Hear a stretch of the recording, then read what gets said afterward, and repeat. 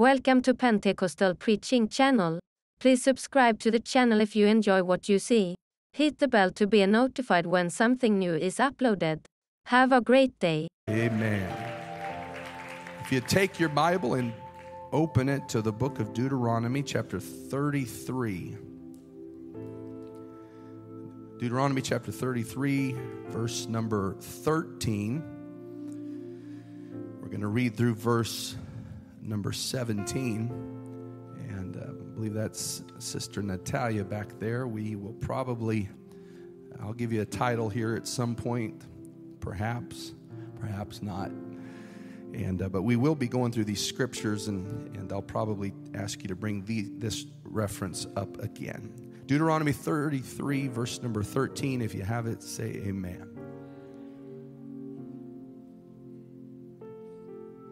Moses is blessing Israel, and he is going through the majority of the tribes. Seems like one dude got skipped. We'll talk about that. But verse 13 says, And of Joseph he said, Blessed of the Lord be his land. Man, I want God to bless me. I've preached that so many different ways. And uh, praise God. Bless the sound system. I've preached that so many different ways. But I want to, I'll touch on it again tonight. I want God's blessings on our lives. It's not my subject, but it's part of what we're going to talk about. Blessed of the Lord be his land, for the precious things of heaven, for the dew, and for the deep that coucheth beneath, and for the precious fruits brought forth by the sun, and for the precious things put forth by the moon. I want you to notice some of the things he's talking about here in this blessing for Joseph are in contrast to each other. They are, in some ways, if not opposites, they're in tension with each other. He wants him to be blessed from heaven, blessed from beneath, blessed by the sun, blessed by the moon. 15, and for the chief things of the ancient mountains, and for the precious things of the lasting hills, and for the precious things of the earth, hills, mountains, earth, and fullness thereof. And, I like this, for the goodwill of him that dwelt in the bush. Let the blessing come upon the head of Joseph, and upon the top of the head of him that was separated from his brethren his glory is like the firstling of his bullock, and his horns are like the horns of unicorns. That's a wild ox. With them he shall push the people together to the ends of the earth. And they are the ten thousands of Ephraim, and they are the thousands of Manasseh. Amen. Why don't we put our Bibles down and let's pray together and ask that God would be with us these next few minutes. Would you help me pray? Jesus, we love you. And God, we thank you that we're in your presence and that you're in our uh, in our presence and that you're here to do great things. Let the word go forth in power. Let your spirit touch us. We give you thanks and praise and glory. In Jesus' name. Let everybody say amen. Amen. Before you're seated, shake hands with somebody again. Tell them we're glad you're here in God's house tonight.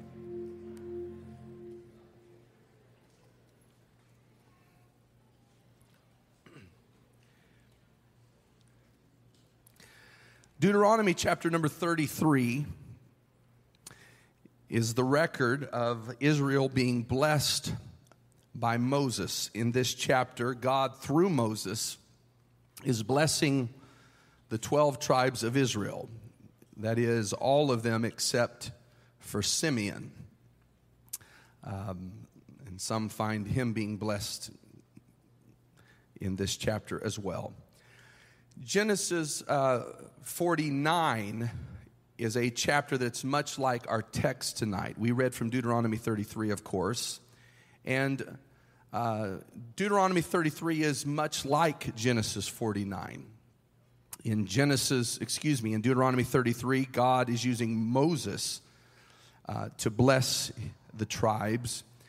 And in Genesis 49, God, through Jacob, is giving a blessing or at least a prophecy, because some of them are not very, uh, they're not very much of a blessing, more of a curse upon uh, the various tribes of Israel. It's, it's interesting to compare and contrast these blessings the blessing of Jacob, the blessing of Moses. We won't spend much time on that, but it is worthy of study. And to see how, again, God through Jacob in Genesis 49, and then God through Moses in our text, Deuteronomy 33, would bless the individual tribes. For instance, when God spoke through Jacob and Moses about the tribe of Judah, both of their prophecies are positive in tenor. They are both good, but, but they're different prophecies. When you uh, look at the prophecy of Reuben, and I should have probably started with him because both of them are listed first in, in, in Jacob's blessing of the tribe of the tribes and Moses' blessing of the tribes. Both of them are first, but they are, they are different from each other. I, I alluded quickly to uh, Simeon. Uh, let me say in Genesis 49, when Jacob speaks of Simeon, Simeon, along with Levi, gets slammed. It's not very much of a blessing by Jacob. And uh, and then in Deuteronomy 33, Simeon doesn't even get uh, mentioned by Moses. There are some that, that find him in some obscure texts or, or, or uh, uh, copies of texts of Scripture along with Reuben, but he's not found in Deuteronomy 33.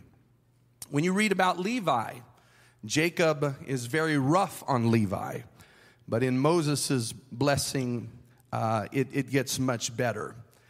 Uh, when you read about Zebulun, Jacob and Moses talking about Zebulun, they're, they're, the prophecy about them is different.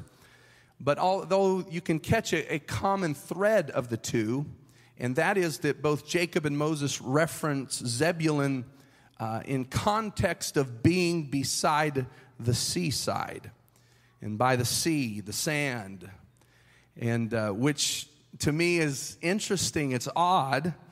And uh, I appeal to the Bible scholars here tonight because when you look at Zebulon uh, in the Bible descriptions of where he was located uh, in the land of promise, or easier, make it easy on yourself, just go to the back of your Bible where all the maps are. Zebulon is not by the seaside that I can tell. So when you figure that out, help me with that. Some of, I've got some theories on that. Um, and then Issachar. Issachar is, is prophesied by Jacob and Moses in different ways. And, and he's barely mentioned, just barely mentioned. I could barely find him in Deuteronomy 33 in Moses' blessing. And so on, it goes through the tribes. But, but most interesting to me, and the subject of tonight's lesson or teaching or preaching, whatever it ends up being, uh, is the blessing that Joseph receives. Of all of them, Joseph receives the most beautiful blessing. And of all of them, uh, of all of them, Joseph's blessing of Jacob and from Moses are the most uh, similar between Genesis 49 and Deuteronomy 33. In fact, if you read the two, it's, it's again, we know that Moses, under the inspiration of the Holy Ghost, is, is speaking, but it's, it's like he borrows much of his blessing from what Jacob said in Genesis 49. But one of the things I want you to notice, and we're going to focus on the blessing of, of Jacob, and or, excuse me, the blessing of, of, of Joseph. And uh, I do, I am aware that, that when we talk about Joseph, we're referencing two tribes. We're we're referencing Ephraim and Manasseh, who were the two sons of Joseph. But for the purposes of this message, I'm, I'm going to mainly apply it to Joseph in his life specifically. But when you read this blessing in Deuteronomy 33, one of the things that I want you to notice, and perhaps you did, is this blessing that God gives him is full of contrasts. God wants him to be blessed. In verse number uh, in verse number 13, he references blessings that come from heaven and blessings that come from the deep that is beneath.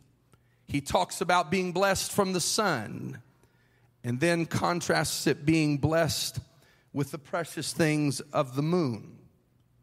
He talks about it talks about how it referen- he references the chief things of the mountains and of the hills and of the earth. And then he talks about the goodwill of him that dwells in the bush. And I, I think in some ways this is kind of, uh, kind of, kind of relates to the man that he's talking about in the first place, which is the life of Joseph. How many, when you read your Bible, enjoy reading about Joseph? He's just fun to read about. It's a good ending. Joseph's life is, is, is a beautiful life. But one thing you know about Joseph's life is it's full of contrasts. Joseph, his life is full of dreams, but it's also full of broken dreams. It's, we read about Joseph being the favorite of his father and hated by his brothers. People lied about Joseph, and others all but worshiped Joseph. When you read the life of Joseph, it's the story from the pit to the palace, from the prison to the throne. Joseph's life is, is full of contrasts. And I'll just tell you, if you hadn't figured it out yet, brothers and sisters, so are, so are our lives. Our lives are full of these contrasts. I, I, I may sound like I'm going to take a little segue here for a moment, but I, uh, there's something that I struggle with. And uh, I'll just tell you, I, I struggle finding balance in my life. I work at it all the time. But is there anybody that, that has a desire to be more balanced in the different parts and areas of your life? Amen. I was thinking about it today. It's, it's difficult. It's like when you get one, thing's one thing figured out, something else suffers. Amen. Have you ever noticed, and maybe this doesn't happen to you, but sometimes when I really get in a spirit of prayer, I'm like, oh, now I need to read my Bible. And then I get prayer and Bible reading and balance, and then I realize I need to fast. And then I start fasting, and I don't want to read my Bible or pray. I don't want to do nothing. And, uh, and then you get the spiritual all together, and then you feel like you're neglecting your family. Anybody ever felt that way? Amen. I'm praying good, but man, I'm, I, need to get, I need to be a better father. I need to be a better husband. I need to be a better son. I need to do this. And then you get the family part good, and and then you hear pastor get up and talk about soul winning and Bible studies and outreach. And, and so you go on outreach, and then your wife says, Why weren't you with us, you know, today? and uh, that, didn't, that doesn't happen at our house. I'm, I'm being serious. I, anyway. And, uh, and, and, and you're trying to get all these parts together. And then you realize that, well, I, how about this? Then I realize that I'm overweight and uh, I need to diet. And because I'm gaining weight, my health's getting affected. And so I diet, and, and uh, when you diet, you don't feel like exercising. If you exercise, you feel like eating more. And, and then you get that together, and then you notice that the lawn needs mowed, and the car needs washed, and the oil changed, and the washing machine breaks down. And then you notice you're mad and you quit praying again. And there you go, and you start all over again. Come on, anybody ever struggle with any of this? Hey, I'm preaching now. Well, brothers and sisters, this is called life. And this is a struggle of life, just trying to find balance. But I believe that it is God's will for God's people to find this thing called balance. And I believe that part of balance in life comes from God's smile and favor being on us. Hey, I, I think you have noticed, like I, you that have been in church for a while, you that are faithful perhaps in your giving and your tithe paying. I, I have found that when God's favor is on my money, it just goes a whole lot further.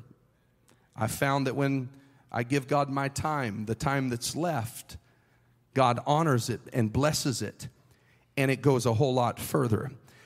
And that's why tonight I want the blessings of God on my life. I want to be balanced and I want God's blessings on my life. But I'll tell you this about God's blessing God knows also how to give a balanced blessing. Amen. God doesn't, he's a, He doesn't just give chocolates and roses and, uh, and uh, rainbows and unicorns. God gives what we need. Have you noticed that living for God is not just bright sunny days and mountaintop experiences? Has anybody found out it rains sometimes and there's valley sometimes? and the car breaks down sometime.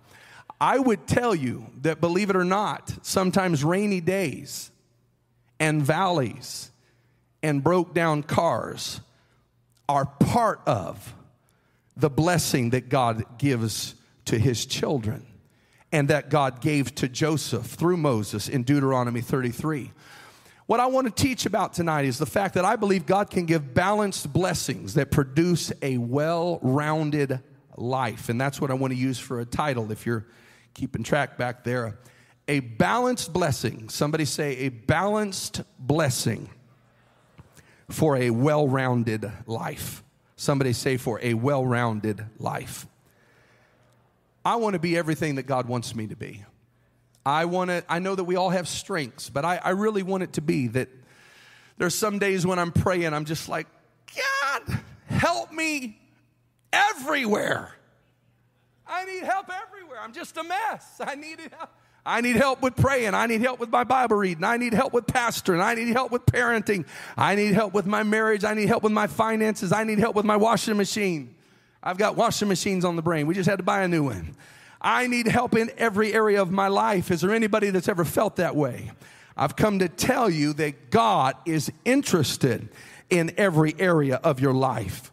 If you're new here, let me just tell somebody God knows how to bless your life with a balanced blessing. He doesn't just give you cotton candy blessings.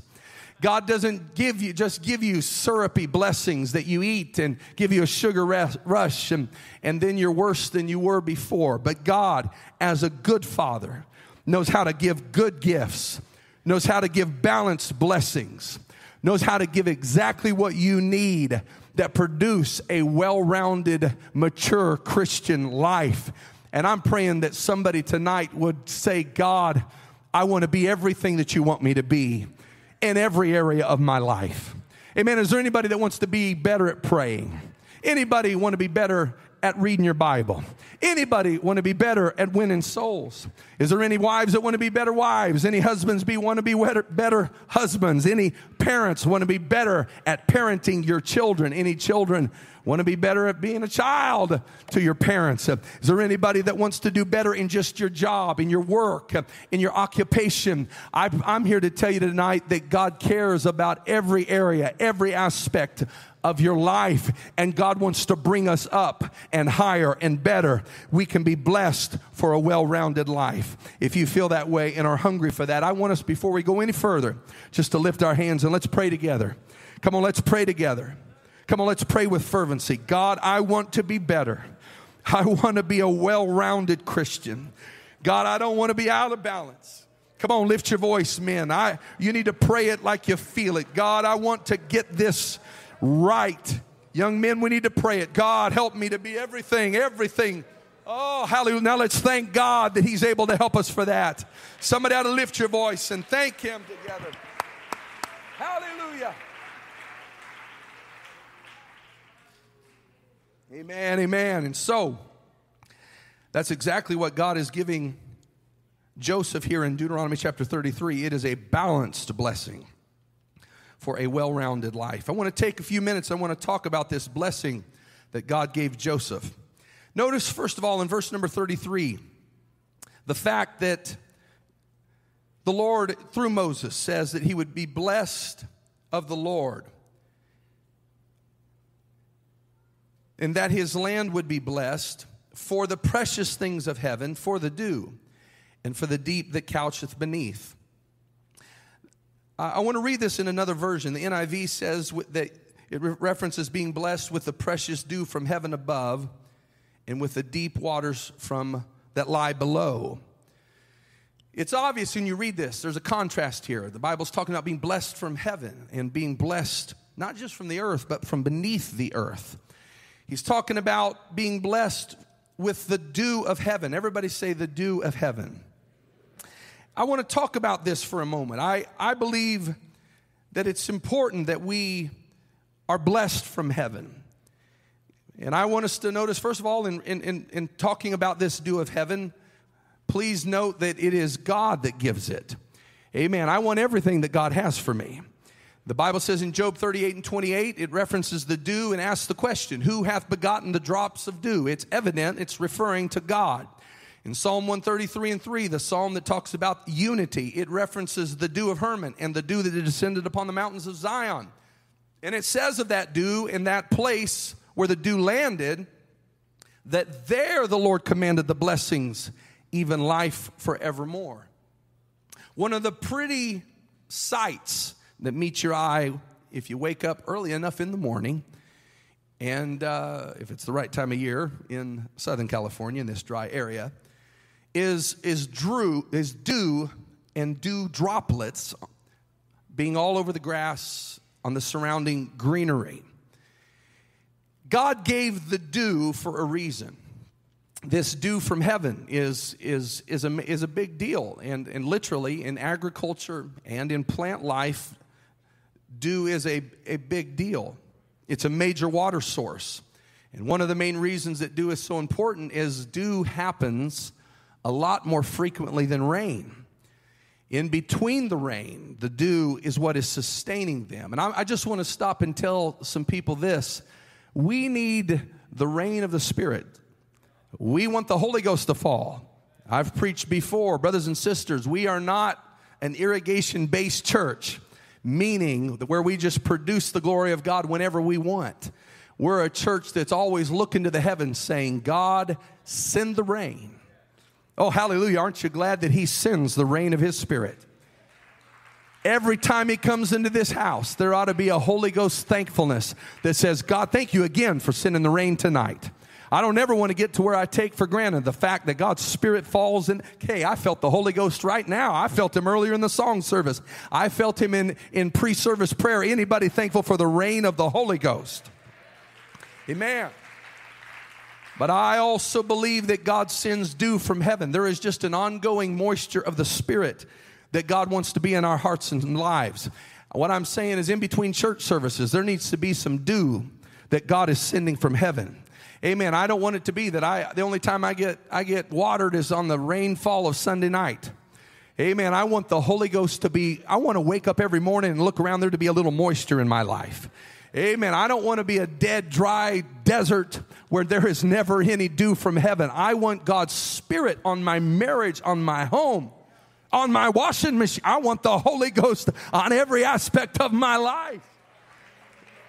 And I believe that God can be with us throughout the week. Amen. I also read about dew, that dew helps plants, it, helps them to accelerate their, their metabolism. It helps plants to increase uh, their biomass. Basically, that's a fancy way of saying dew helps plants grow faster and grow bigger and stronger. Amen. If you're here tonight and there's a hunger in you to grow bigger and faster and stronger and do more for God, then you need to pray that God would send the dew of heaven in your life. Amen. I want the rain of Wednesday night Bible study. I want the rain of Sunday morning uh, Holy Ghost church. I want the rain of Sunday night, but brothers and sisters, I can't wait until Sunday to get blessed. Hallelujah. I need some Holy Ghost moisture in my life. And I'm here to preach to somebody tonight. If you'll let the Holy Ghost move in you, it'll be with you every day of your life. Oh, hallelujah. There can be new moisture on the ground when you wake up in the morning.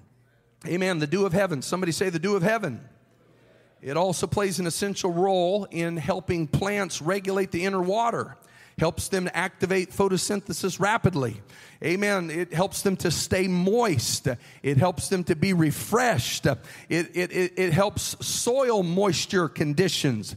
Dewdrops on the soil decrease soil evaporation loss.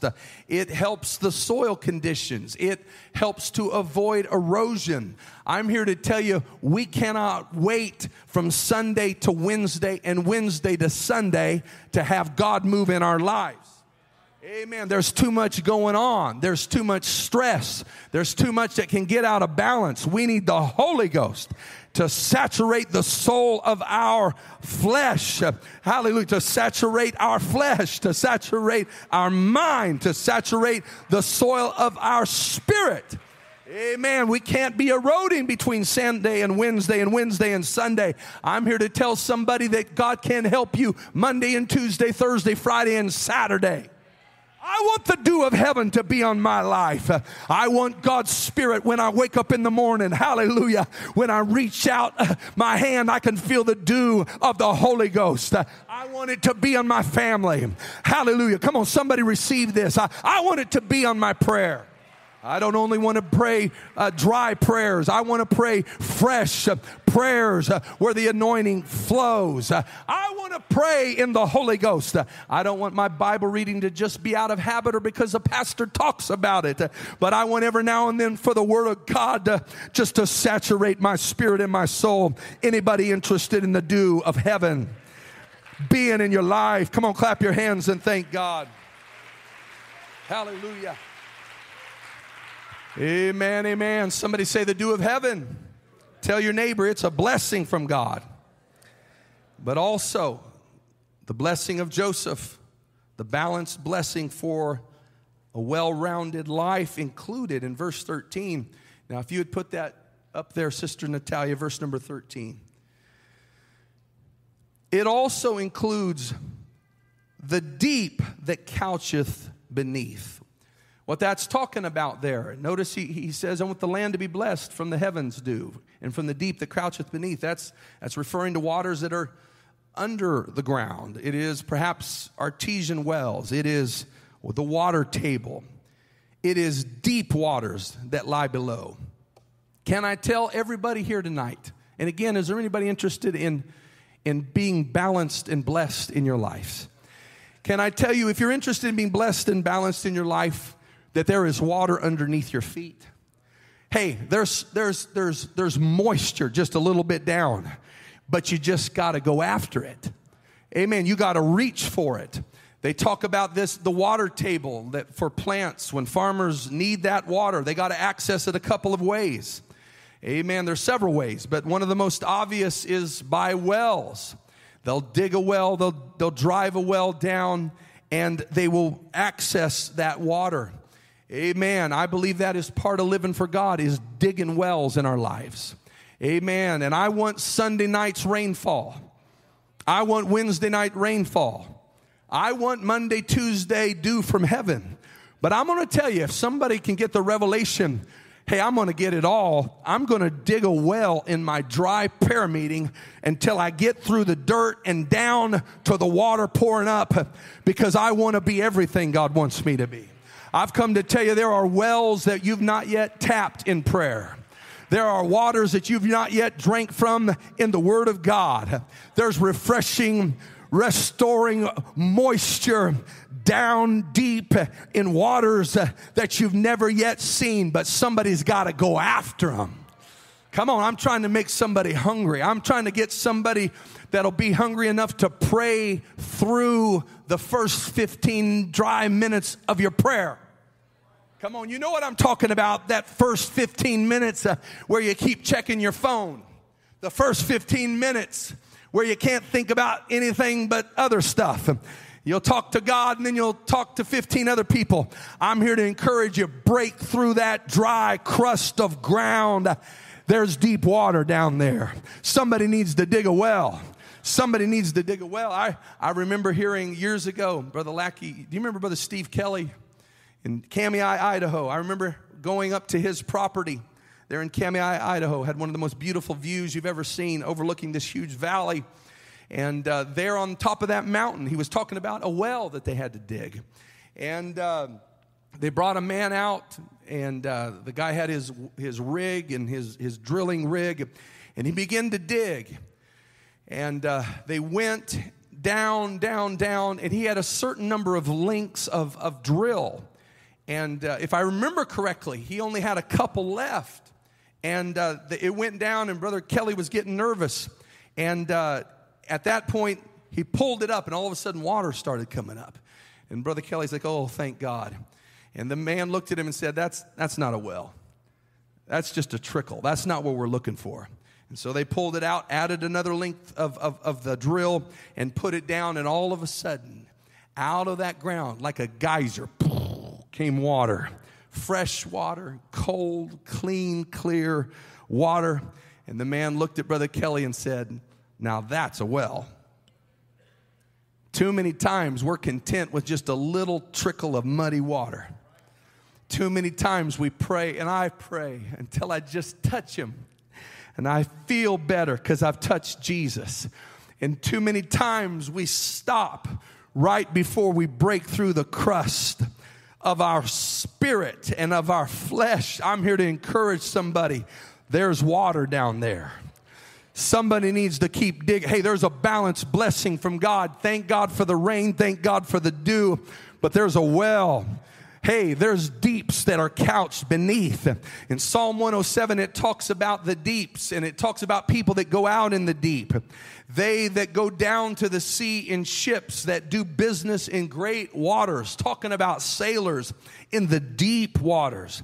And it says, These see the works of the Lord and his wonders in the deep. I'm here to tell you there are wonders of God when you get into the deep things of God.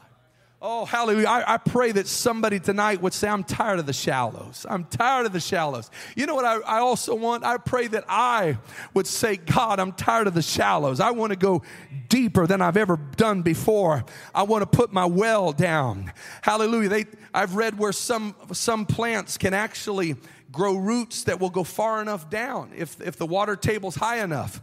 So you, you may not even have to dig a well, just get your roots down. Amen. If you're a new convert, don't stop. Don't be content to, with shallow roots. Put them down. There's deep, deep waters down in the deep things of God. Oh, hallelujah. I'm just talking about a blessing that can be a gushing from above, from the dew of heaven, and from the deep beneath. I'm looking for some people that will pray in the Spirit, in the Holy Ghost. Read your Bible until there's actually saturation from the water in your life. And again, if you feel that way and are hungry for that, I want you to lift your hands. Come on, let's love the Lord. Let's love the Lord. Oh, let's love the Lord.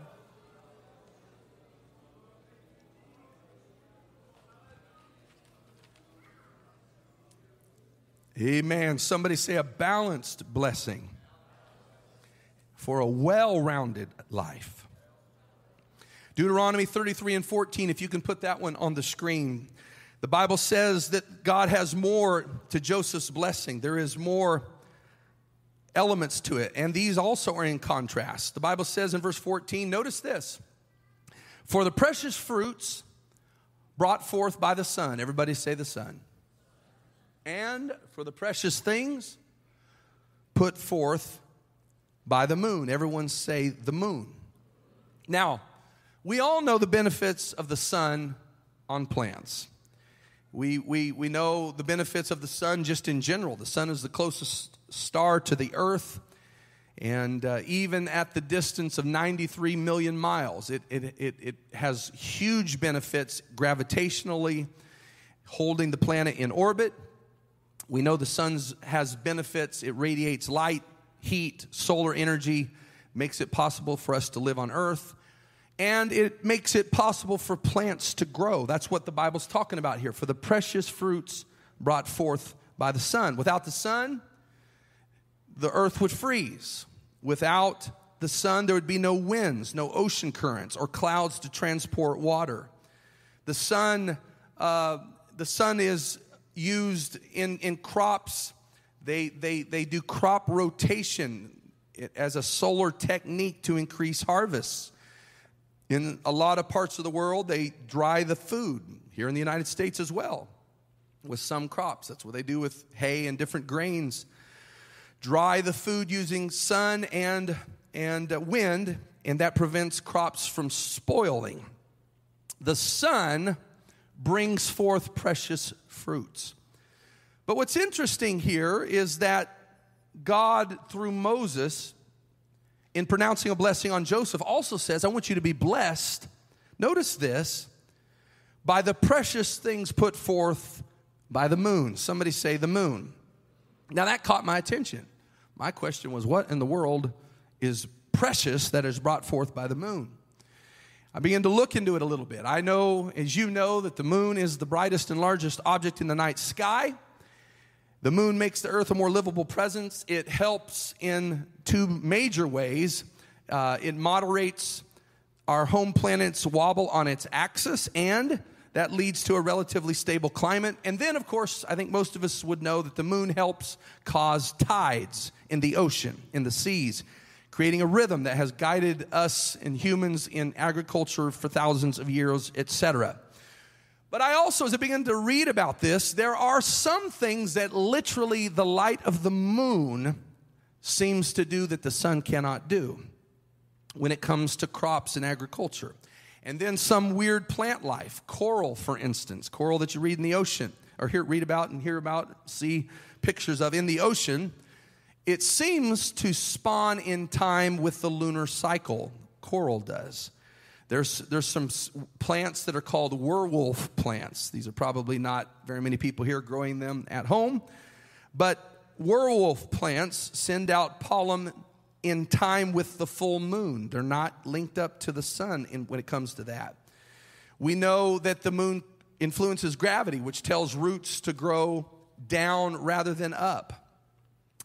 I read where the moon, it seems like it might cause some of uh, foliage on plants, leaves and things, to rise and fall with the moon, similar to the movement of the tides. We don't have any idea why this is. Scientists haven't figured it out yet, but some speculate that maybe the moon, like it pulls on the ocean, pulls on the water and the plants. I've read elsewhere that they said that's nonsense, but they have observed this phenomenon. Uh, there's a thing called phytoplankton. I assume that's what whales eat. Plankton requires moonlight for photosynthesis.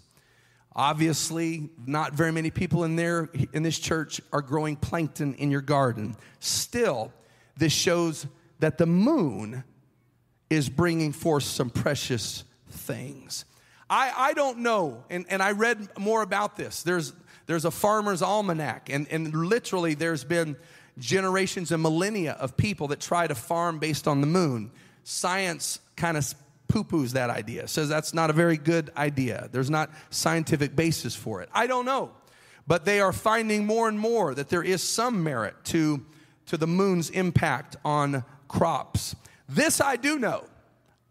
I read it in my Bible tonight that there are precious things that are put forth by the moon. I'm here to tell you this when it comes to the blessings of God, we need the sun, but we also there are some things that only happen under the gentle glow of the moon. I want God's blessings, but it includes the sun, it includes the moon. We need the light of the sun. But I want to talk to somebody for a moment. We also need the dark of the moon. Your prayer needs the light, the blazing light of the sun. But I'm also here to tell you part of the blessing of God is that your prayer needs the dark of the moon. Your if you're living faithfully for God, I, I want to just tell you something if you haven't figured it out yet. Your marriage benefits from the good days when the sun is shining. But have you realized it yet? If not, let me in, let me let you in on a secret that your marriage actually grows sometimes in the dark of the moon. There's some growth that only occurs when the sun goes down. What I'm telling you tonight is a balanced blessing from God, includes the good times, but it also include, includes the bad times. Brothers and sisters, there's some of you that right now, whether you like it or not, are growing in the dark. It's the moon that's producing some things in you.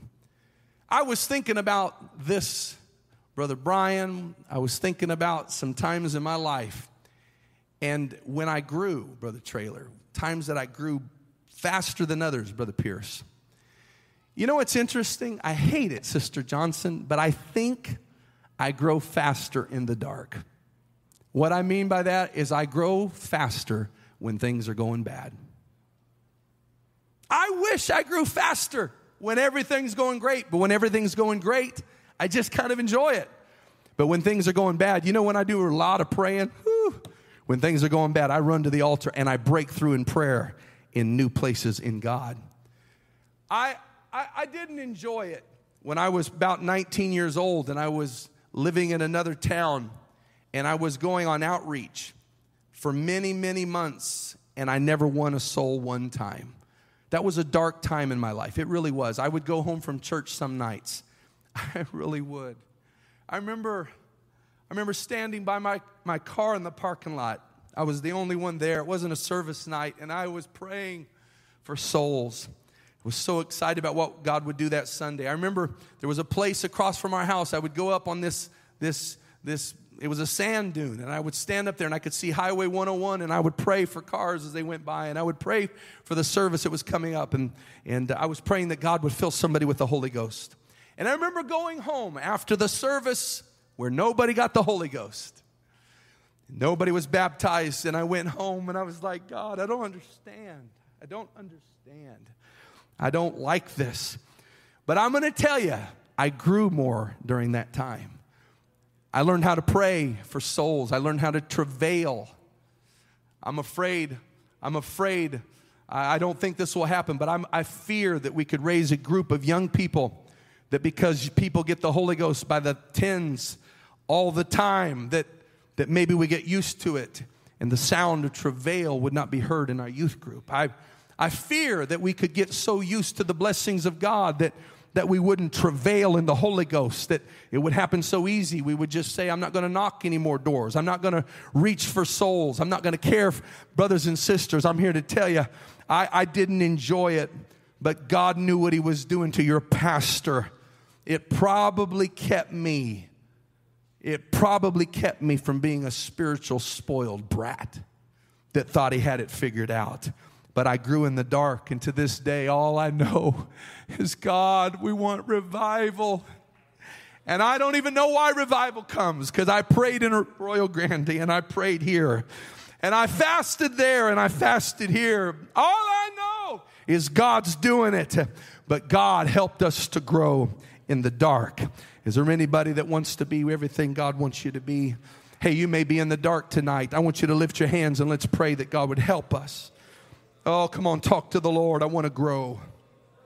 I want to grow. I uh, there's a time frame that your pastor really grew. I've been pastoring officially as pastor pastor for 7 years. Or at least I will have in November. 2016 was the official installation. A couple years into the pastorate, I've never told this before in my life. I was two years as a pastor in 2018. I didn't enjoy it in 2018 when over 80 people came to me individually and sometimes as families and expressed to me, Pastor, I'm sorry, but we're going to be moving. And uh, obviously, I never got up here and testified about that one. I love you, Pastor, and I love this church, but I'm thinking about relocating. And uh, but I'm just here to tell you it was painful and, and there was good reasons in many cases. But I grew as a pastor when I looked at each one of them and said what I knew was right. I said something like, on a personal level, I will miss you so very much, but I want God's best for you. I want God's will for you, and I'm going to help you pray. And if you choose to do that, I'll love you all the way there, and I'll love you all the way in the new place. I'm here to tell you, I grew in the dark. And I'm thankful that God's smile and favor is on us. But I'm here to tell somebody God's blessing is balanced. He doesn't just give popsicles, He doesn't just give cotton candy. He doesn't just give rainbows and unicorns and stick you on a mountaintop and leave you there for the rest of your life. I'm here to tell you mountains and valleys and lowlands are what produce a well rounded Christian. And what God is looking for is not hot house flowers. He's not looking for people that can only survive in the, the, the best of weather. He's not looking for plants that can only survive with a professional gardener looking over them.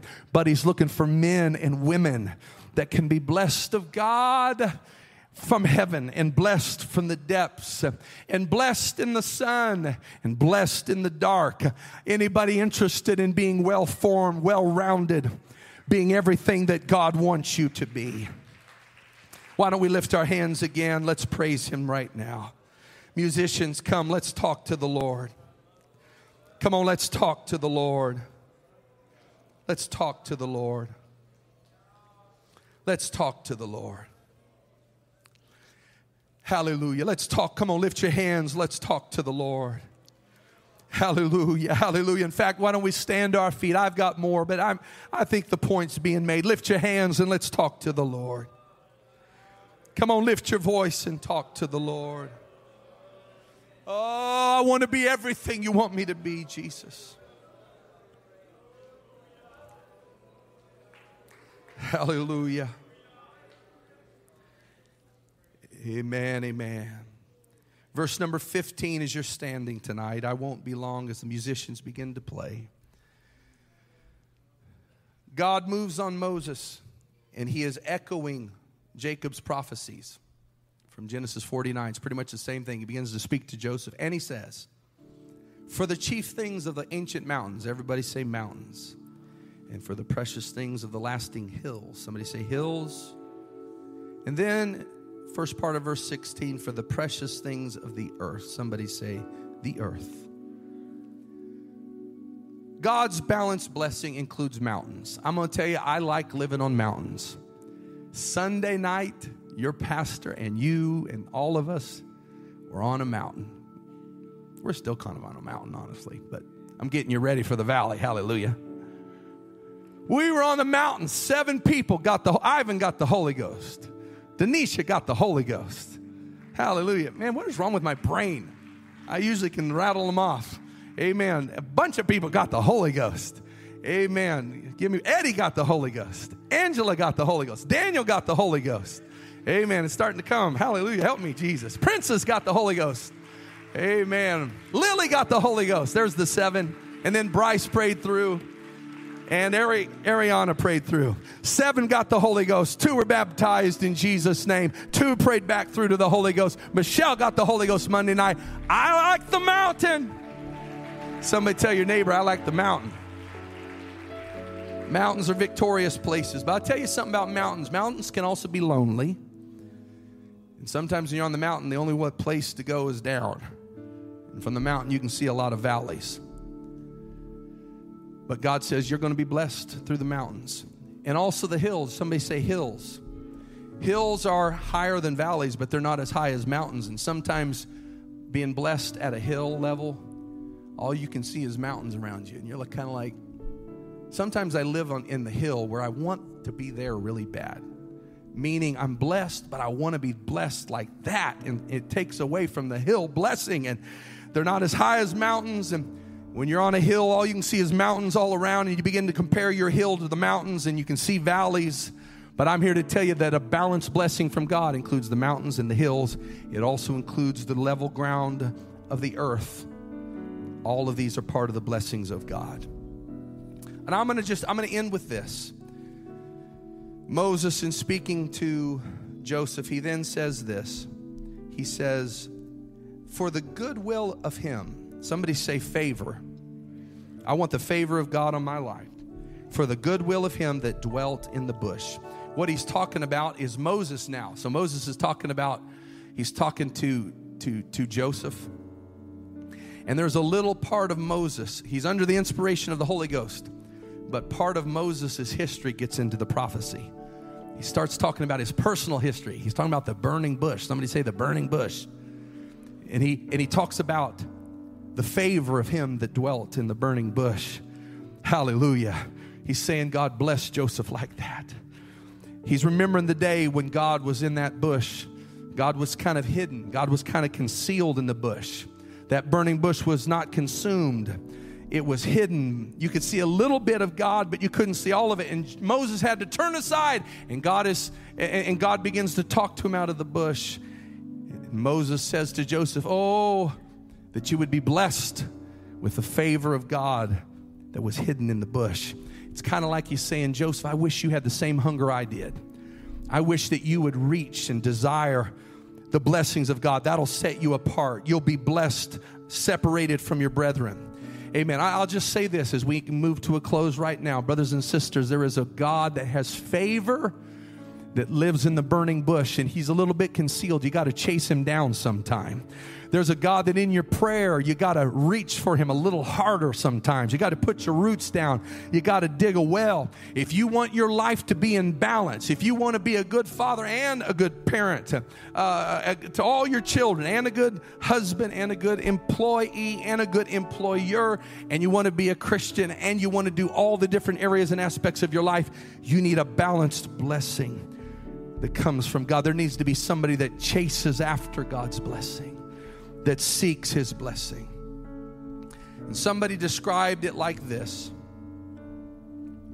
They described it like this. They said that, I want to find it right here.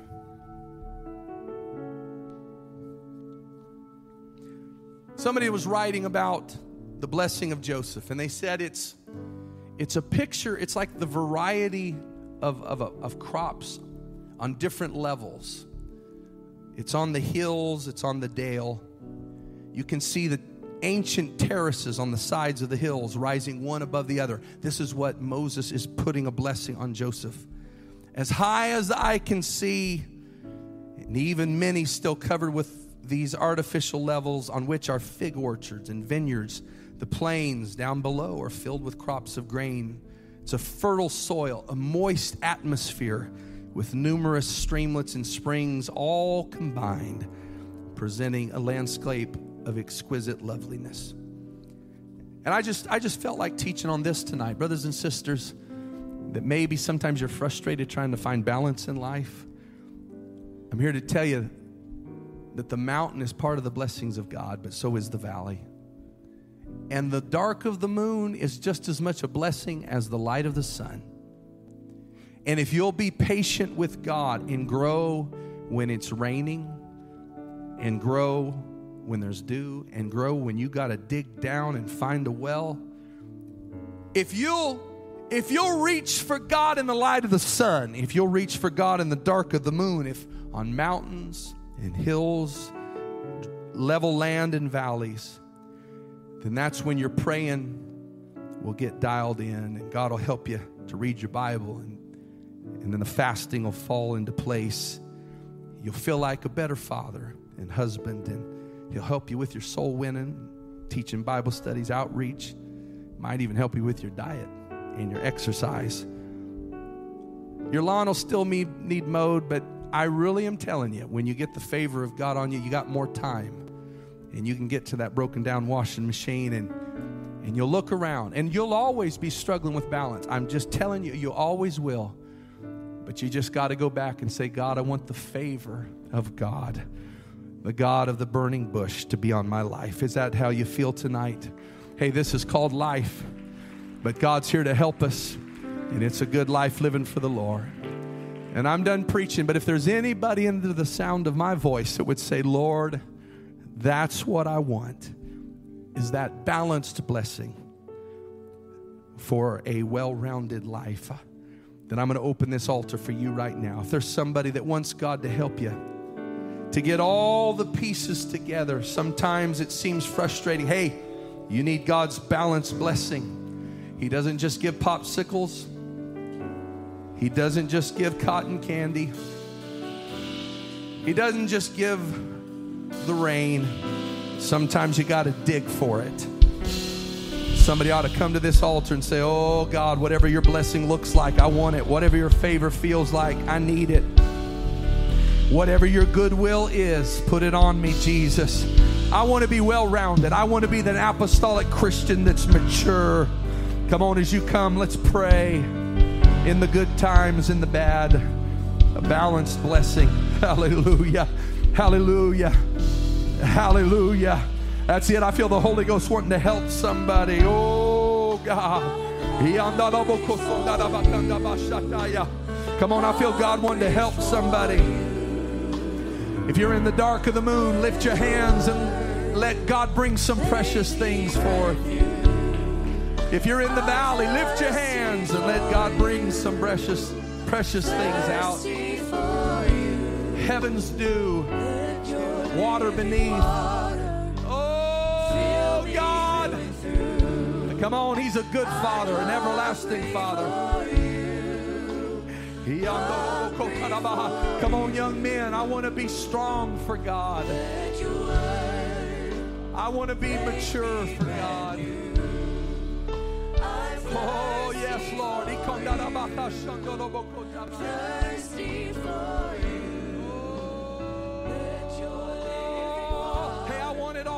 The blessing. All the blessing.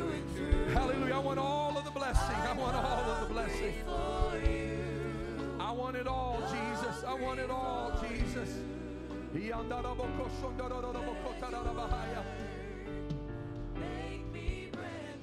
want it all, God. I want the dew from heaven. I want the waters